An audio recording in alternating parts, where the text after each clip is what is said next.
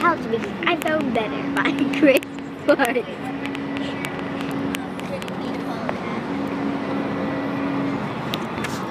Tapping buttons is the best thing to do.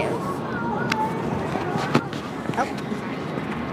We're all home shots. Yeah, she did just show you how to make your iPhone better. Now look at Grace. Her picking the buttons and watch her talk. Thank you.